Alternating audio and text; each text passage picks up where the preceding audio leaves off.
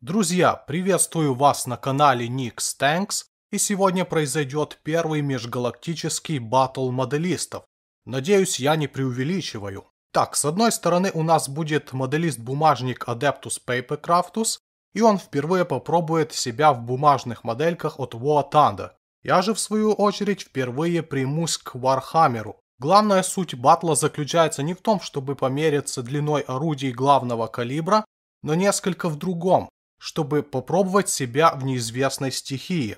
Наша главная задача – это справиться с новыми трудностями и сделать интересные для вас, дорогие зрители, модели. Следить за челленджем Адептуса вы сможете на его канале, оставлю ссылочки в описании. Он решил построить себе КВ-220. Не самая простая, но зато зрелищная моделька. А я решил взять себе летуна, ужас, спускающийся с небес, валькирию. Скажу сразу, я полный нуб в Warhammer е. То, что я знаю наверняка, это то, что Валькирия летает. Уже неплохо. Итак, 5 белых листов, пропитанных цапон лаком. Что мне это даст? Это позволит безнаказанно красить бумагу. Я надеюсь. Начну с корпуса летуна. Все клапана срезаю. Ну вот, основные детали фюзеляжа вырезаны. Попробуем их изогнуть. Линии изгиба делаем неглубокими надрезами по маркированной линии. Дальше все просто. Дело не сдвинется, пока не укрепим каждую плоскость летуна прочным картоном. Нам ведь не нужна желейка. Для вырезания точных картонных секций использую уже вырезанные детали как шаблон. Ну что ж, я уже подклеил большинство панелей грузового модуля, и если насухо его собрать, то он так выглядит. Есть теоретическая возможность сделать рабочими двери грузового модуля. Пока отложим эту часть корпуса, и тем временем я склею сверху такую штуковину. Эта деталь также укрепляется картоном. Останется на щелчок склеить суперклеем очень просто. Впервые вижу свои склеенные бумажные детали в исключительно белом некрашенном цвете. Дальше поработаем над хвостовым оперением. Я уже вырезал все детали. Здесь у нас две балки, различные детали, рули высоты, рули направления, стабилизаторы и прочее. Первым делом склею детали, состоящие из половинок. Модель имеет одну крайне любопытную особенность. Например, берем детали с рулями высоты, они были склеены из двух половинок, как я показывал ранее. Таким образом, у нас есть рисунок с двух сторон. Но зачем нам рисунок, если мы и так все закрасим в итоге? А нет, в наборе есть отдельные детали, которые клеятся поверх этого рисунка. Таким образом, у нас появляются трехмерные стыки и щели. Проще говоря, на модели появится расшивка, а это даст крутой бонус при покраске модели. Наличие линии расшивки на бумажной модели уже неплохо. К сожалению, далеко не весь корабль усеян такими дополнительными рельефными накладками. Но я решил пойти немного дальше в процессе детализации и сделать рабочими рули высоты. Использую штатные бумажные детали, кусок проволоки и жесть из пивной банки. Сперва отрезаю штатные элементы, Потом еще укорачиваю их немного, для того, чтобы освободить место для проволочки. Наша деталь утолщается штатной панелью из набора. Под проволоку выбираем небольшие канавки. Получившийся зубчик вклеиваем проволоку. Дальше заготовим металлические петли из кусочков жести, чтобы наши рули не выскакивали из канавок. Сами петельки формую на кончике пинцета с помощью круглогубцев. Результатом является вот такая механизация рулей высоты.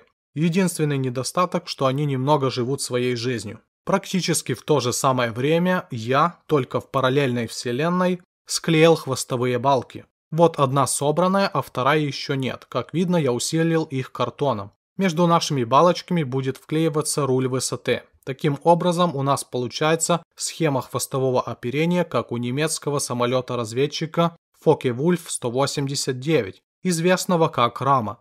А еще из этих балок могла бы получиться большая бумажная прищепка.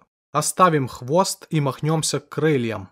Они состоят из четырех деталей, соединяющихся попарно. Они будут приклеиваться по бортам нашего грузового модуля. Плюсом идут некоторые детали, панели, накладки.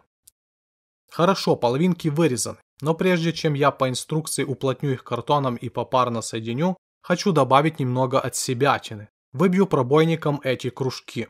Выбив кружки, из запасных распечаток можно будет вырезать утраченные детали. Таким образом мы вернем все как было, при этом добавив немного рельефа. решил пойти дальше, снять панель на крыле, при этом оставив крепежа под заклепки. В дальнейшем в этой открытой нише можно будет вклеить интересные элементы деталировки. Провозившись много временем с вырезанием крыльев, уплотняющих кусков картона, я наконец-то начал укреплять сами крылья и стыковать их между собой. Крылья должны иметь изгиб около 45 градусов. Будет видно точно в процессе установки элементов шасси. Для того, чтобы половинки крыльев ровно сошлись, нижнюю часть лучше разрезать на два куска по линии изгиба и монтировать отдельно, подгоняя под верхнюю часть крыла. Таким образом мы получим единую внешнюю грань крыла без всяких ступенек и зубчиков. Ясное дело, без шпаклевки здесь все равно не обойтись. Последнее, о чем я позабочусь в этой серии, это кабина пилота и стрелка. Здесь у нас деталь нижней носовой части летуна с нарисованной пастью и верхняя с остеклением. В целом эта часть машины особенно схожа с вертолетом Ми-24. Вот развертка кабины, здесь же некоторые детали ее внутренностей. По набору здесь можно вклеить приборные панели и кресла. Но вначале склеим кабину. Вот наши основные детали, носовая часть и сам кокпит кокпит я уже вклеил одну деталь, предположительно педальный узел. Сначала вклеиваем кокпит в носовую часть, а уже потом позаботимся о деталировке. Давайте посмотрим, что получилось сделать за эту серию.